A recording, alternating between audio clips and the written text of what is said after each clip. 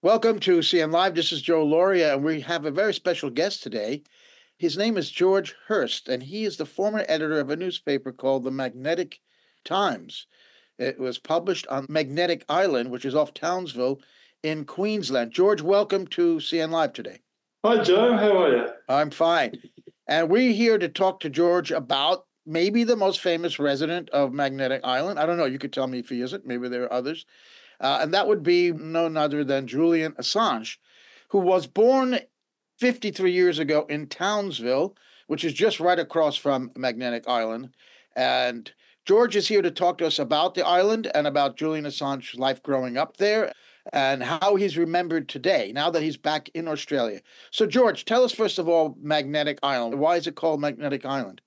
Magnetic Island is about five miles offshore from Queensland, which is a big Australian state, uh, Queensland's second largest city, known as Townsville. And Magnetic Island is within the Great Barrier Reef World Heritage Area, and it has coral and lovely fish, and it's a very beautiful place. It's also somewhere where people actually live, and so we can commute from Townsville to the island many times a day. There's a regular ferry uh, it's it's very civilized, really. It's very nice and very pretty, and uh, a lot of people love to live here. Uh, there's about 2,300 residents, and the island was named by Captain James Cook, who was sailing past back in 1770, and he had some problems with his compass and it seemed to be going strange from where he was, which was about uh, maybe five or six miles out to sea. And he could see this, what appeared to be an island, which was very rocky. It's noted for its massive granite tors and uh, it's uh, a real feature. And he thought maybe it's the rocks that had some magnetic effect on his compass. So he named the island Magnetical Isle, and then later was realised it was an island and and so on, and it became Magnetic Island. But the proper name really is Yunbenun, which is the name given to Magnetic Island by the Wulgurukaba people, who are the traditional owners of Magnetic Island, and uh, that's that's important to know as well. Do any of them still live on the island? Indigenous people? Yes, um, there's a couple of families, and they have a pretty interesting story to tell as well. The island has a really interesting history, actually, and it's, on, it's one of my favourite subjects. But without going into great depth, um, go ahead. Go ahead. We love depth. You like depth? Okay. Yeah. Well, look, in the 1860s, Townsville was first established. It was the frontier. That's in the, the frontier wars, where Aboriginal Australians were basically hunted down and eliminated or rounded up and sent to missions and various places where they suffered a lot of trouble. On Magnetic Island, strangely, the place wasn't of much use to anybody except for there was a the first white settler, a guy by the name of Harry Butler, came over and thought it would be a good place to have a little farm and maybe people could come for holidays and so on. And he formed a very good, positive relationship with the Wulgurukaba people. And from all accounts, things on the island were actually quite different to the way they were on the mainland. And there's a nice sort of interaction going on. It was very peaceful until the government comes in at about uh, between 1900 and 1920. And then they basically ruled that all of the Aboriginal people of Magnetic Island were to be taken off and sent to a place called Palm Island, which is, we can see it from Magnetic Island, it's further up in the reef.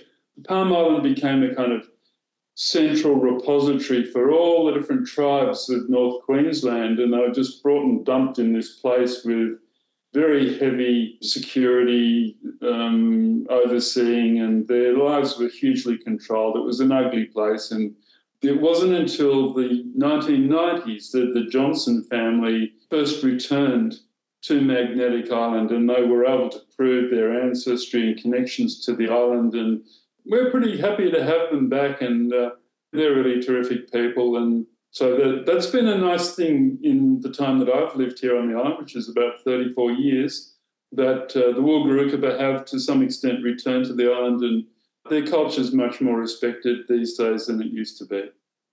So is it true about the, the rocks disturbing the compass? Was is, is that just it is? Um, it was never found to happen again.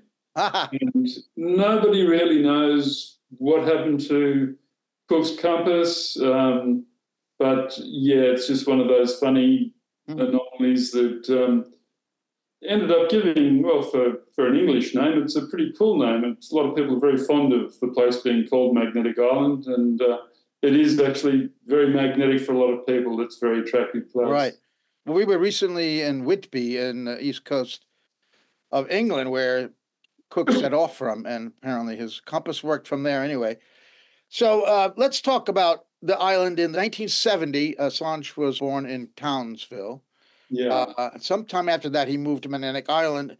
Uh, apparently, there were only 500 people living on the island at that time. Is that right? Look, I'm not the best person to ask about the population just then. That sounds about right.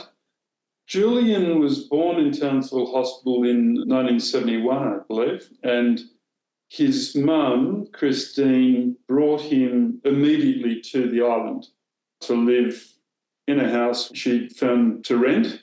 And in fact, that house is in my street. It's just down the road. And I drive past it or ride my bike past it every day. It's one of the, the houses. It doesn't look much like what it would have been then. It was a much more simple. The island in those days was kind of a lot of shacks. There were, a lot of beach shacks where people would put up a sort of a weekender, they'd call them, um, a very simple structured house that they could come over and spend a few nights and go fishing or go swimming, and then they'd go back to Townsville or wherever. So a lot of the homes on the island weren't very substantial.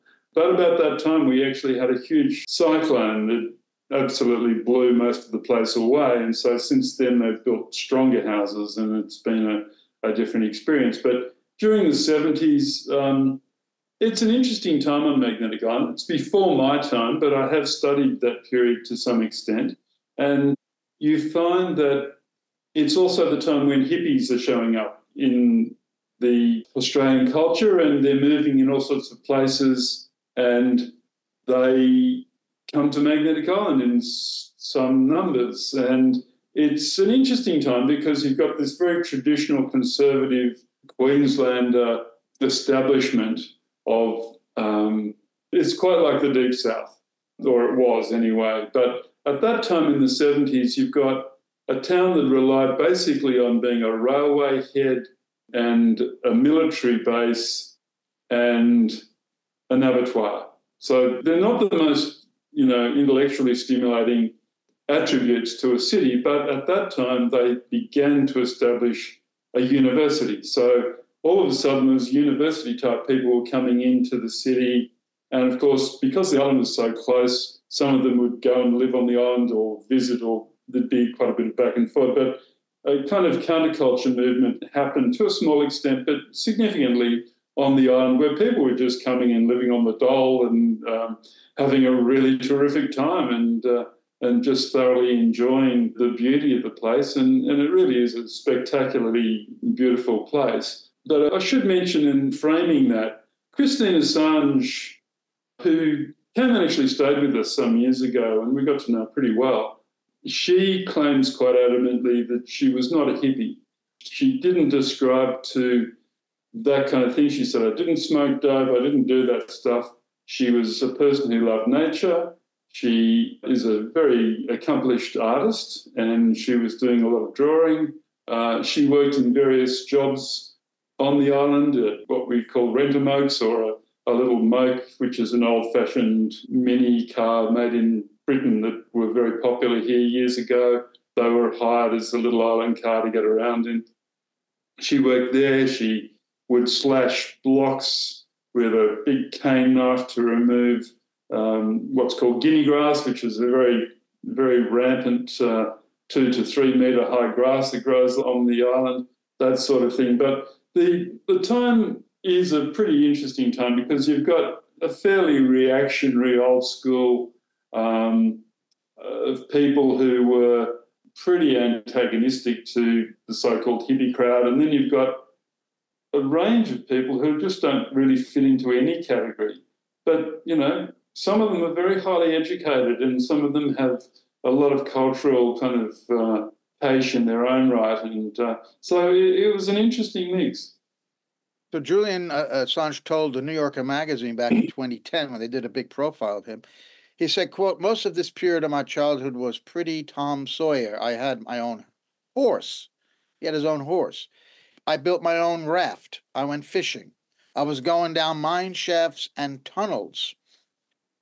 Now, he said something really interesting uh, in an article that he wrote for The Australian, the right wing Murdoch newspaper, The Australian. He cited Queenslanders' willingness to, quote, speak their minds bluntly as influencing his desire to create WikiLeaks, whose motto is We Open Governments. I'm reading now from a Sydney Morning Herald piece, by the way, in, in 2010 as well, which quotes the New Yorker magazine. So he quotes, uh, and I want to get your reaction to this. I grew up in a Queensland country town where people spoke their minds bluntly. They distrusted big government as something that could be corrupted if not watched carefully. The dark days of corruption in the Queensland government before the Fitzgerald inquiry are testimony to what happens when the politicians gag the media from reporting the truth. And it says he wrote that in the hours before his arrest. That was his first arrest from the Swedish case. Then he said, quote, These things have stayed with me. WikiLeaks was created around these core values. The idea conceived in Australia was to use internet technologies in new ways to report the truth. Is that the Queensland that you know, or at least the one from the 1970s? That's a good question. Um, I think that Queenslanders are pretty direct. And I should say that I'm not originally a Queenslander myself. I, I came from the south. I moved up here a long time ago. But they're people who don't mince words. They, um, they're, yeah, they are direct, but they're, they're very friendly people too. Um, they're very warm people. Um, I think just more particularly on the island, I've noticed, I think there's a lot more uh, strong and assertive women here too, which is quite a feature. You, you know, I was at a party last night and I was talking to any number of people and a number of women who really you find have a very sharp mind and capability to express themselves. And it just feels that's how it is, at least on the island. But Queenslanders, they don't mince words, they're direct and they're country people in, a lot of ways. And uh, they're probably less interested in the sophisticated sort of terms that other people might use. They, they get straight to the point, I think. And, you know, we've certainly seen that on the island. Well, I've been around this country, though never to Queensland. I uh, I found Australians in general pretty blunt, uh, so that they must be extremely blunt up there.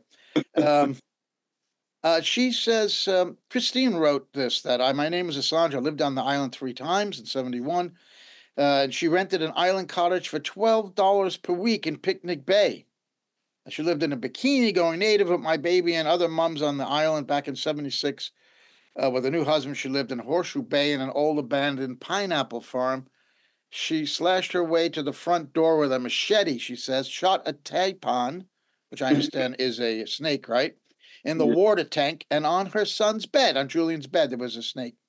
Had to suspend fruit from ceiling to protect from the possums. Back in 82, she lived with another little child, lived in a flat on Esplanade in uh, Picnic Bay. So uh, she's still in love with the island. Uh, what he didn't go to school apparently. Uh, she homeschooled him. Is that what your yeah, understanding? That's my understanding as well. Um, Christine told me that she homeschooled him, and there's actually a lot of there's very little recollection by Islanders of Julian. It's a long time ago. He was here. He came and went several times. He didn't go to school at the ordinary school, so um, he didn't grow up with a little generation of kids who, you know, he hung out with in that respect. So I suppose he was probably a bit more of a loner than um, a lot of the other kids in the school. Um, and so there was that separation. I think she said also something about, you know, she didn't want him to um, take on the um, conformity that is bred by schools and the adherence to authority and so on, which uh, uh, is part of that, which certainly seems to have been uh, a success in, in Julian's case. So you mentioned one uh, house down the road from where you are, where Julian lived. Yeah. Are there many? Are there many other sites that are associated with his time in Look, uh, on Magnetic Island? there's a couple, um, but again, there's really not much you can hang on. The the house on the corner from from in our street has been extensively reshaped, and in fact, just this last week they've done quite a lot more work on the same house and its gardens and so on. I doubt whether Christine would even recognise the house these days, but she knew exactly where it was, and you know it's still that same place. Then there is a block of flats which is also only about two minutes walk from where I am now, which is on the beach on the Esplanade.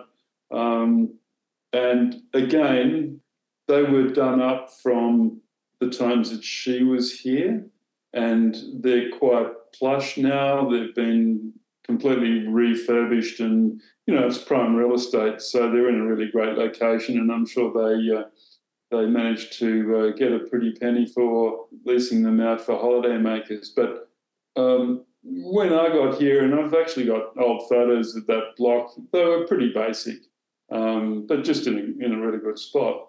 And um, then there's a couple of other, the, the site where she slashed through the um, grass to get to the house, that's a funny one. Um, on the island, that tiny little cottage was known as the Noddy House.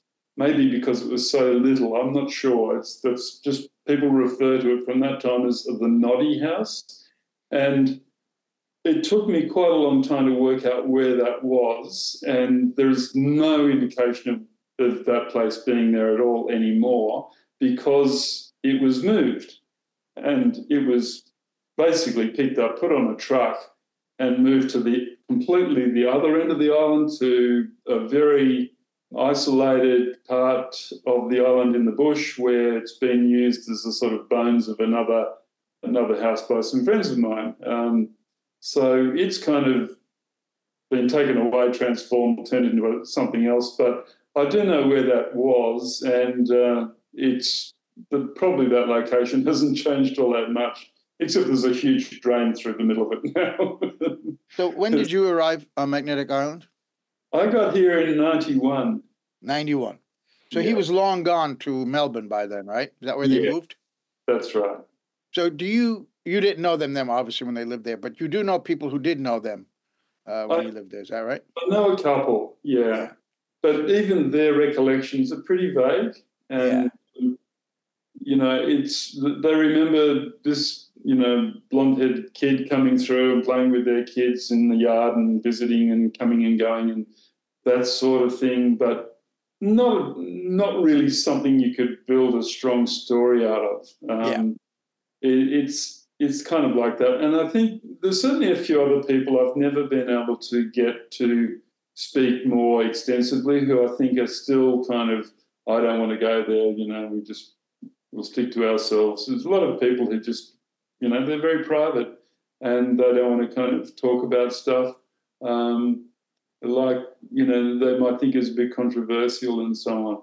But I do know that there was also another house, well, not a house site, but it was more like a, a shack on the back of a house in Horseshoe Bay, uh, which caught fire.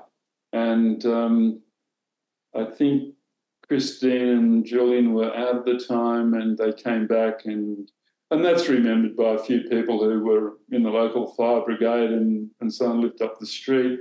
But again, it, it was yeah, it was a fire, but uh, you know, some these things happen from time to time. Um, I should mention though that the comment about shooting a taipan is probably strongly questioned on the island. A taipan is an extremely, it's possibly the most dangerous snake in the world. And there is really very little evidence that there are any taipans on Magnetic Island. Hmm. Uh, what I would say is that it was probably a brown tree snake. Um, or maybe a whip snake. Um, brown tree snakes could look like a taipan to someone who doesn't know their snakes all that well, but they're harmless. Um, and in fact, it's a it's a terrific place for snakes. We've got we've got some of the nicest snakes around, and there's only one quite dangerous snake, which is a death adder, and um, they're very obliging because you can kind of tread on them all day long, and they finally might wake up and give you a nip, but they're pretty laid back. Um, so, you know, that's the snake story. Um, also, you mentioned um, Julian was talking about going down mine shafts and things like that. When I talked to Christine, she thought he was mistaken and he'd gotten some of his, he'd mixed up magnetic memories with maybe somewhere else because there really aren't any mine shafts here. Um, he may have found a few caves, but um, no, not really mine shafts. So, you know, it's pretty easy. I think, you know, he, he moved 37 times before he was 16 or something like that. It was, it must have been pretty confusing for a young guy um, where he was and what he was doing and so on.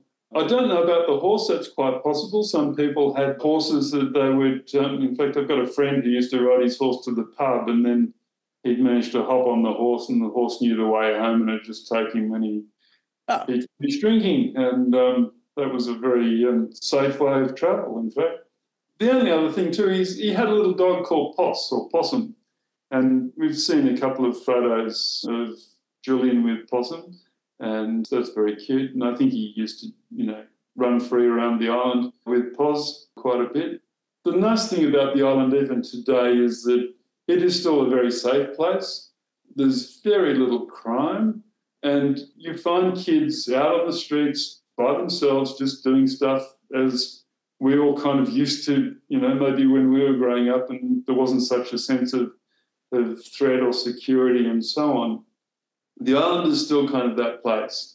And um, they're not at home in front of a screen, in other words. They're out playing like kids used to do. Well, look, computers. there's plenty of kids in front of screens everywhere and still and, and also Magnetic Island. But little kids, you will find them running around on the beach, in the streets, doing stuff um, that there's just no sense of danger at all towards them. And, uh, yeah. and that, that's one of the really lovely things of, of the island. It's still maintained that kind of character. Of course, if uh, Julian didn't spend time in front of screens, he wouldn't be who he is. Now, let me ask you about the attitude of people today. Uh, I'm looking at a poll here in the Townsville Bulletin. And uh, it's from just uh, June 24th, so less than a month ago. And there was a poll because uh, there's a movement, and we did a little film about that um, when Cathy was up in Townsville some months ago to build a statue for Julian Assange. Uh, the poll says that 87% of the residents of there were 1,662 votes. 87% said no, there should not be a statue for Julian Assange. Only 13% said yes. I doubt there's a blue plaque on any of those uh, houses where he lived. What is uh, the attitude after Julian became world famous and uh, all the controversy surrounding him? Uh, what were the attitudes that you heard uh, on Magnetic Island towards him during his heyday in the 2010 uh, up until now that he's been finally released from prison? Um, look, firstly, about the poll. That was a Townsville Bulletin poll. The Townsville Bulletin is our local Murdoch. Okay. It's a, a terrible paper, and it's usually read by pretty, you know, I won't say terrible people, but um, people who would agree with the the Townsville Bulletin as, uh, you know, its uh, ethos, its conservatism, its um, it's just one of those outlying Murdoch hack type of operations. And a Townsville Bulletin poll means that there are people who are reading the Townsville Bulletin online, and I don't think that's in any way a representative survey of how Townsville people would feel. Um, nonetheless, there is plenty of people who would be oppositional to uh, Julian. I think the framing and the way in which he's been um, cast by the most um, powerful people in the world to be either a, a so called you know, sexual harasser and, uh, you know, skipping bail and uh, all of these, you know, the terrible crimes that he's committed about endangering lives and so on.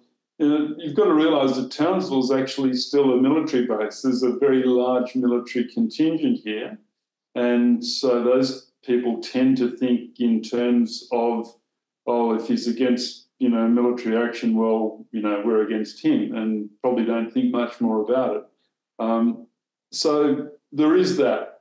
Um, I've got no idea how Townsville would actually vote in a real fair poll, but it's interesting. And even on Magnetic Island, you know, we have little Facebook spats about Julian and whether we can say he's really an islander or was one of us or whatever because he came and he went and um, I just feel well, you know, the guy lived here he, this was the first place he came to as a child.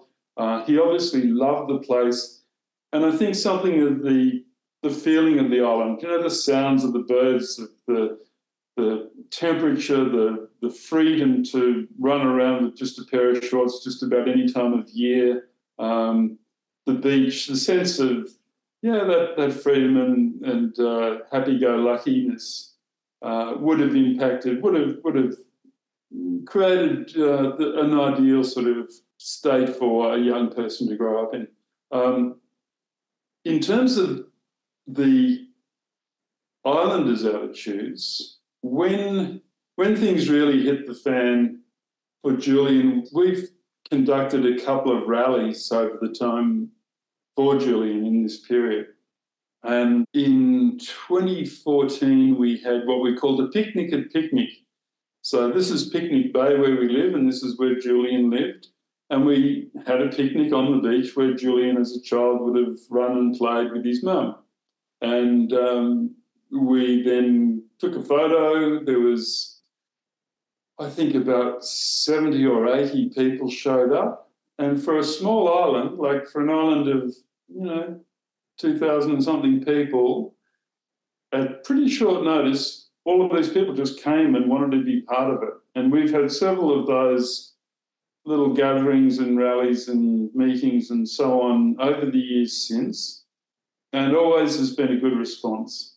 And so there's certainly a number of people on Magnetic who um, are really have been very supportive and very keen to to see Julian freed, um, and of course to come back if he so desires, and we we you know be delighted to see him back on the island.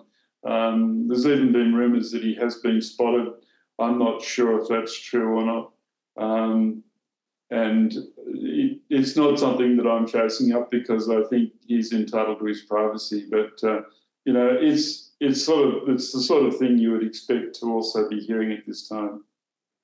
Wait a minute. You you heard you're just saying that there are rumors that he was spotted on Magnetic Island since he's returned to Australia? I have heard those rumors, but I don't know if they're true. But that interesting because I was about to ask you based on this Murdoch paper, Townsville Bulletin. The headline is Will Julian Assange return to his North Queensland roots? Yeah, mm-hmm. there's speculation around if WikiLeaks found Assange will head north to his childhood home on Magnetic Island for overdue R and R once legalities are completed. Well, they are completed.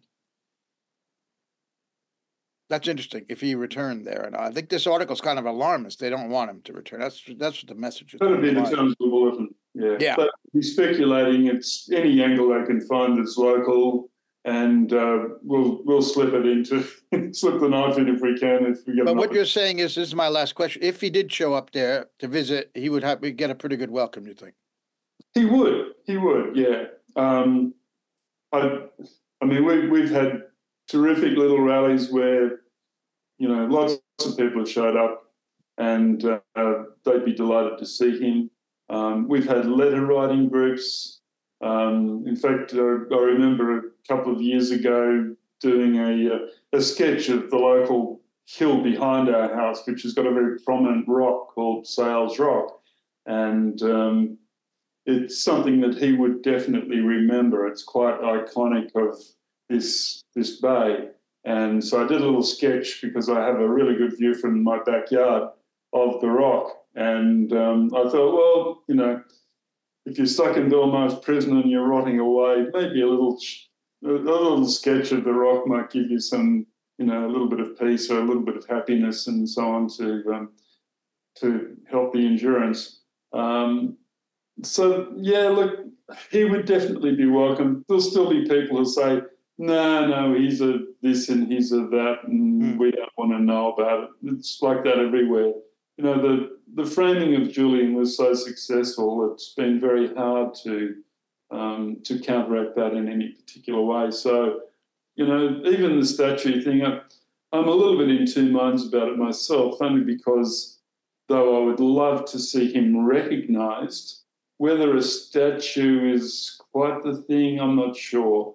Uh, certainly something that's got more of a technical aspect to it, or even information that's set up around the island might be more more appropriate to just give people a little bit more of an understanding of who he is and why he became uh, who he was, who he is.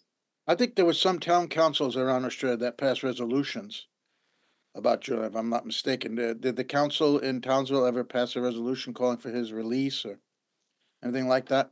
Um, not to my knowledge, but we do have a, a rather unusual situation now that we have a new mayor who's become rather infamous in his own right.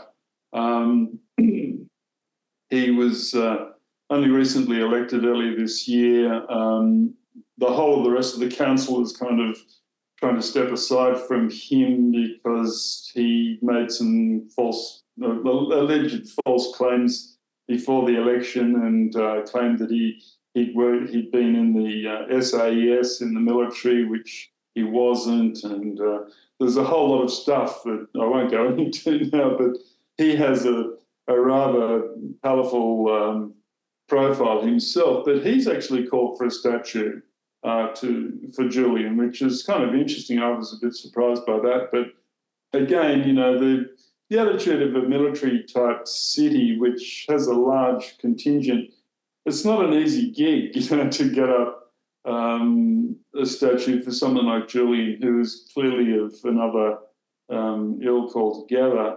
And um, so, you know, I, I, think the whole statue thing, it's been bandied around for a long time. And, you know, it'd be great to see something, I think, but maybe it would be better to to ask Julian what he'd like. I mean, or maybe it's better to have something of a, an image of a little boy running free on the beach, something like that to express the freedom of this place. It's more appropriate to this mm. place. I don't know. It's a it's an interesting uh, discussion point. Yes, indeed. Uh, uh, we'll hear from him hopefully soon. So I'm looking here in 1942, the U.S. had an air command operations and signal building built on in Townsville. There are no U.S military personnel left anymore. It's purely Australian Royal uh, Australian Air Force. Is that right? The base. Um, in 1942, there were probably over 100,000 US soldiers here. Wow. Um, Townsville became the garrison city for the Battle of the Coral Sea. And General MacArthur, Douglas MacArthur, was um, was based here, and he had incredible power.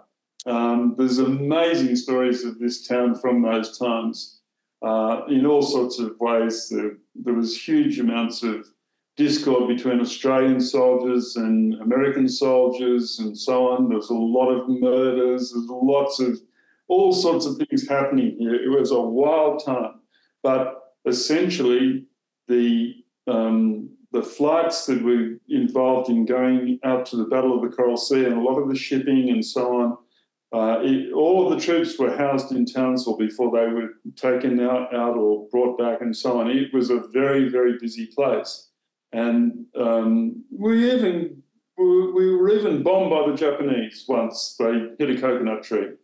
so um, there was uh, no fatalities, but uh, a little bit of excitement. And uh, um, so, yeah, Townsville has a very interesting history, but certainly the Americans left at the end of World War II. Um, and uh, it, the town was never quite the same after, I don't think. But um, it's certainly got that history, and we've still got some forts here on the island, um, concrete bunkers and that sort of thing overlooking the bay, and there was some gun emplacements and that sort of thing. Um, so if ever the Japanese were to come into the bay, then they would really be um, they'd be uh, copying the, uh, the, the shell, shells from the artillery there, and uh, that was you know quite a. It's still a tourist attraction here on the island. It's the best place to see koalas. at, at the uh, on the pillboxes, I think we called they were called. So yeah. the, is is that coconut tree uh, marked? Is there a marker where that tree was? Um, I don't think so. Um, so they somebody drank milk. They they made milk out of it, right? Once the bomb hit. I had a, an old friend who actually, as a little boy, rode his bike to that coconut tree and pulled out a shard of the bomb and he had it on his mantelpiece. Wow. So that, that's, you know. So it was an occupied American city, basically. And um, I thought MacArthur was in Melbourne, but I guess for that operation, he moved moved to towns. I think he was moving around a fair bit. Yeah. He was in Brisbane as well. Right. Uh, at the Townsville headquarters, but all through the north, there were hidden um, barracks and there were airfields out to Charters Towers, which is about an hour and a half uh, southwest of the city, and then up into the Atherton Tablelands, which is nearer to Cairns, north of here. Um, there's still evidence in the jungles and places you can still find the old buildings and so on. And uh, there was a lot of military activity in this area um, because it was close to, you know, Guadalcanal and so on. And uh, the Battle of the Coral Sea was the most significant exchange. It was the first time that the Japanese fleet had been stopped in its tracks, and that was kind of the pivot point for World War II in the Pacific. It was sort of where the Japanese advance stopped and things started to go in the other direction. So it's a really interesting period. So the North Mariana Islands were taken by the U.S. from Japanese occupation. Was that? Um, look, I'm, from Townsville. Mm. I'm not a good enough military historian okay. to answer that one, but um, certainly the the Battle of the Coral Sea was right based on um, supplies and people coming from Townsville to a large. Of course, the North Mariana Islands is where Julian uh, went to the U.S. federal court to enter his plea. So is the building where MacArthur uh, uh, stayed, is that still standing? His headquarters? Uh, yeah, it's actually called the Seaview Hotel. So ah. a nice building on the Strand in Townsville. He was hmm. there. And uh, the airport, which is still a military controlled airport, but we have our civilian flights come in there as well. It's still there. And we've got, you know, very uh, lethal Australian um, defence capabilities there. There's we con- not constantly, but we often hear the jets flying over doing exercises, and you know it's it's still very much a garrison town. Well, I want to thank my viewers for allowing me to indulge my interest in history, and I thank you for telling us about that. Cathy, do you have any questions for George? Because I'm through. And I thank you, George, very much for being with us. You're welcome. Okay. Yes, I certainly do.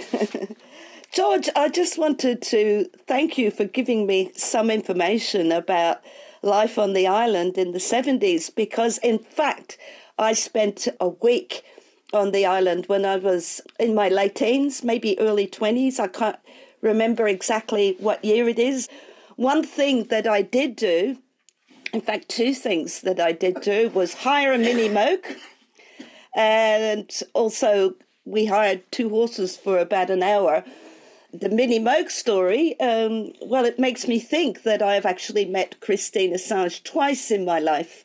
Um, if she was still hiring out those Mini Mokes. And we hired that for the whole week and we drove around the island and it was just absolutely fantastic. As for the horses, that's quite funny because maybe they had that Queensland character about them, but they were they seemed like old horses that just wouldn't move. And when you're young, you know, you want a bit of a gallop.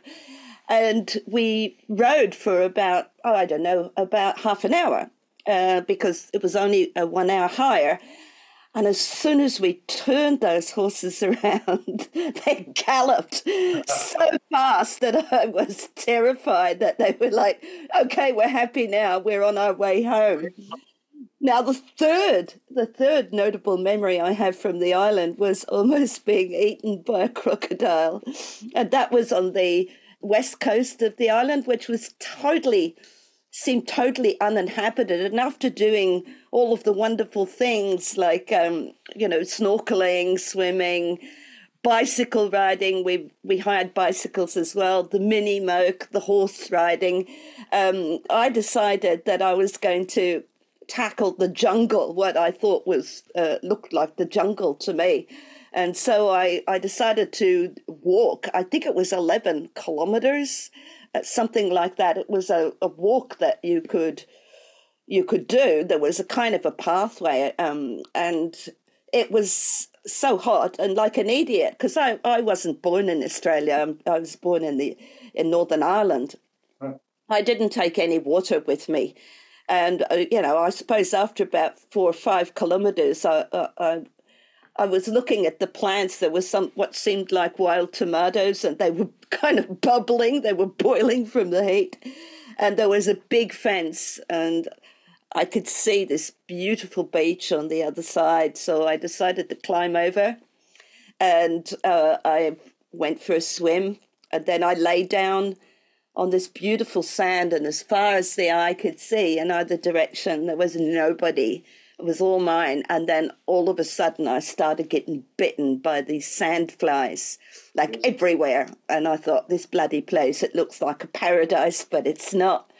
so then I, I walked back, and it wasn't very far, maybe only about 10, 15 meters, climbed over this high fence again. And instead of doing what I'd done on the way over, where I stepped gently down, the last, uh, I don't know, about meter or so, I just let go and jumped back onto the ground. And as soon as I hit the ground, a crocodile just leapt up right in my face. I could see down its throat.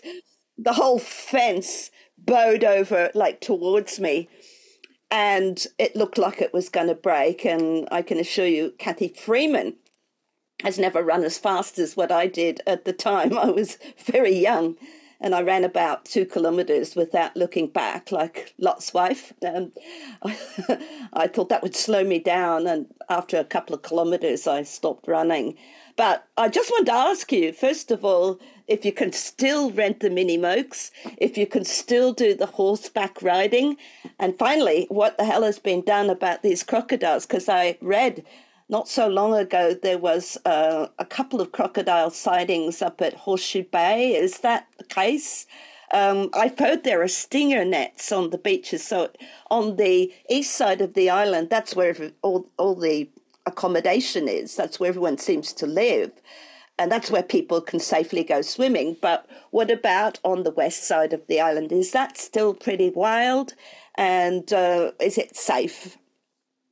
Well, um, I used to live there um, at a place called Bolger Bay. It was the most isolated property on the whole of the island. I think it was way back in the bush. Um, it's a wonderful part of the island. It's it's really quite. It is wild, and um, I'd like to sort of call it outback magnetic island. It's sort of a different feel altogether to the, the seaward side. Um, crocodiles, they do occasionally come to the island, mostly kind of by accident. There's not really enough food for them here to establish themselves. Um, we had a sad case where the rangers had relocated a crocodile from right up on the tip of Cape York and they'd taken it to a, an area south of Magnetic. Um, this is several years ago. And it, there's a funny thing about crocodiles, they, they're terribly homesick they always want to go back home. And they have these remarkable skills for finding their way back home. And uh, and this crocodile was on its way back home, and I happened to get some photos at the time of it being caught by the rangers mm. a, on the west coast. So, and, and we'd been looking for it, and it was circling and was leaving tracks and so on. it was quite exciting. Everyone on the island was very excited, but that's a rarity. It really is a rarity. Uh, and as soon as there's a crocodile sighting, the rangers are just all over it and setting up observation and you know there's people out looking for it and they're setting traps and so on trying to uh, safely get the reptile and take it somewhere safe. Um, so yeah it's possible. Um, and there's quite a lot of mangroves on that side of the island and there's certainly plenty of sandflies in the right condition they saved my life um, I'd, I'd be fascinated if you get up here at some stage to just work out where that was. Because if you walked a long way, you might have gotten all the way to West Point, which is about 11 kilometres of, of dirt track, or you might have just gone around to Cockle Bay, which is not too far at all from here. It's um, it's on the west coast, but it's actually quite a lovely little bay with a house out on a rock and so on. And it mm. might have been there. Um, yeah, so well, it was about um, I've been walking for a couple of hours, so I think it was about halfway. Oh, okay. It didn't take me long to get back down. um, like generally speaking, the island is a really safe place. Uh, we do have stingers in the wet season, which yeah.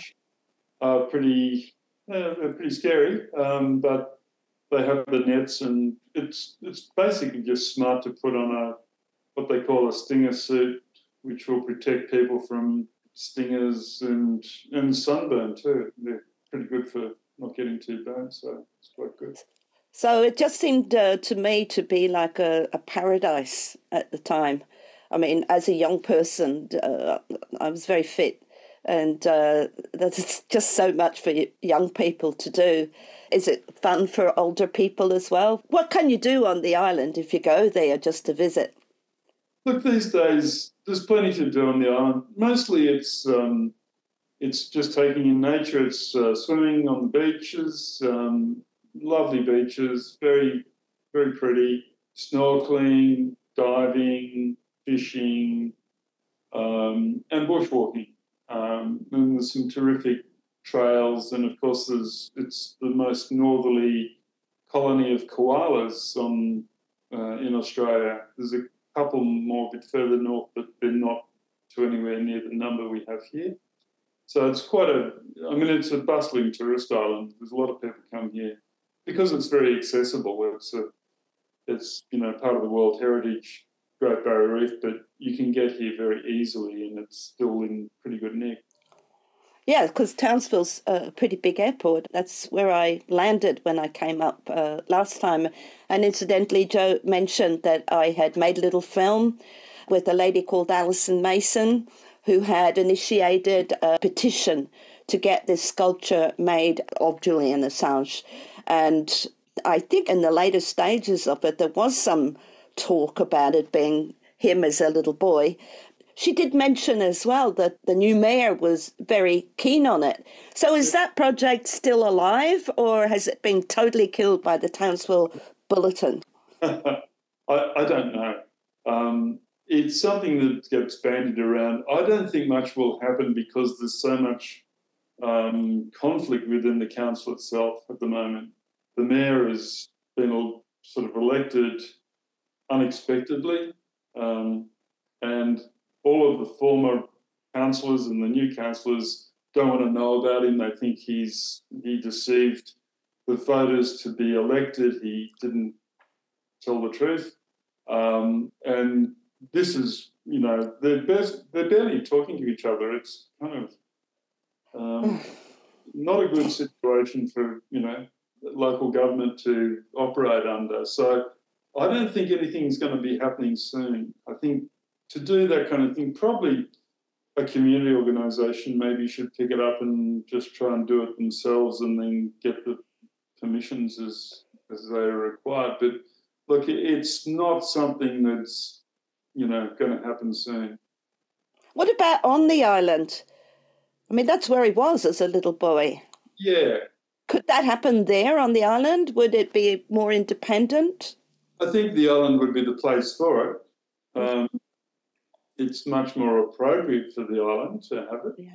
Um, and certainly there would be support for it. But the island is is still part of Townsville. It's just a suburb in terms of the local government. It has a, its own population, and they might be very keen, but they don't run the show. The, the island doesn't have an independent sort of local government or organisation. It has some various uh, bodies that talk on behalf of locals and so on, but it doesn't. It's represented by a, a city councillor who comes and you know hears grievances and so on. But like the rest of the city, they have their councillors too, and so the island is is more like a, in in official terms, it's a it's a suburb of Townsville. That's that's right. it. Yeah. Oh, finally, I'd just like to recommend to our viewers that they watch a documentary that you made not so long ago. Um, I hope I pronounce this correctly, but it's the Anne Kearney story, which is is about life. It's about her, of course, this extraordinary woman and her journey. And she became quite a public figure, really, who was giving so much help to communities.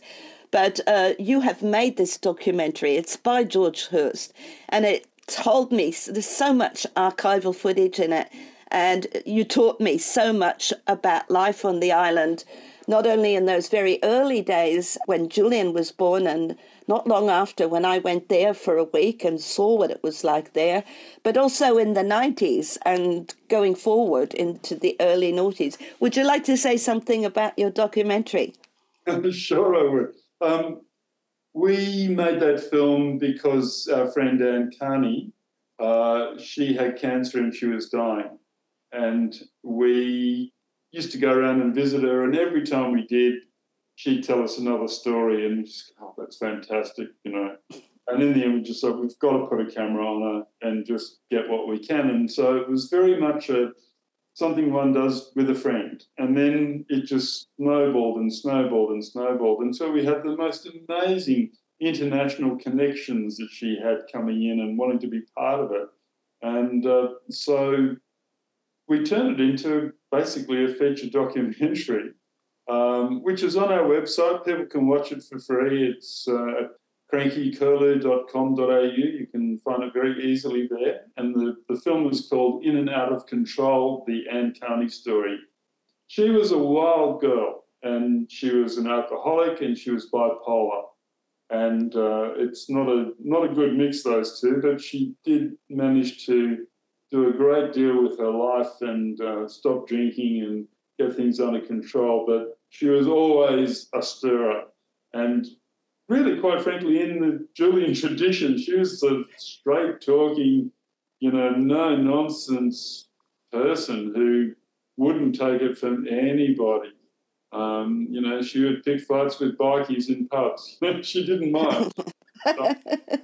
um, so, look, you know, it's actually a good story. And I think in that we managed to bring in the history of a changing town, in particularly in the 1970s. Um, and that thing I was saying before about, you know, it used to be a rough old tough town of army, abattoir, and railway workers, and then a university arrived.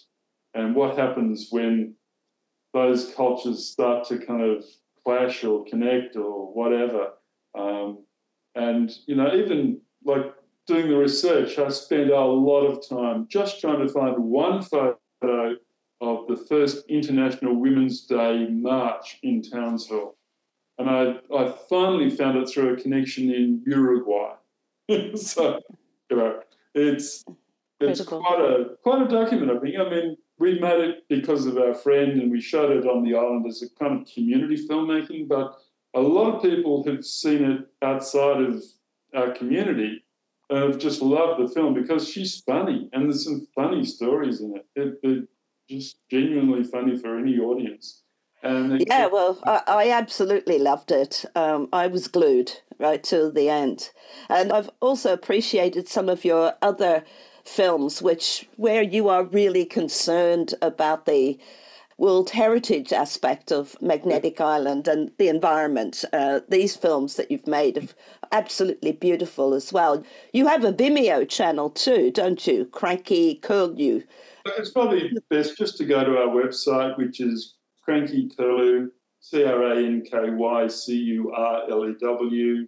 The curlews are the bird of magnetic island, like the national bird of magnetic island. They're quite mad um, and have ridiculously skinny legs. So crankycurlew.com.au. Most of our films are there free to watch. So you're very welcome to encourage people to just have a look because you get a sense of what Magnetic Island's like, and uh, it's yes. uh, it's a very interesting place. It's not just a holiday getaway. No, obviously, I saw a lot of curlews when I was up in Townsville, staying about an hour north of Townsville, and they were just wandering around. They looked like they were they couldn't see very well. They looked like they were completely lost. They were all over the place.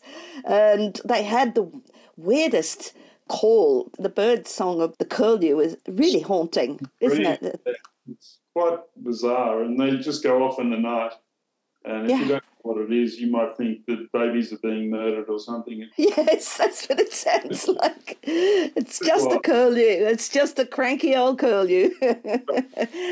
George, it's been a real pleasure to talk to you today, and we have learned so much about Magnetic Island, the place where Julian Assange spent his early childhood, but also where so many other significant things happened. And I'm sure a lot of people are going to put it on their list of destinations of places they must see. Well, look, thanks very much, Cathy and Joe. It was lovely to talk to you, and uh, I really hope your poor old sinuses pick up a little bit, Joe. It looks like you've been suffering pretty badly. A long, a long time, yeah. Yeah. Okay, well, thank you.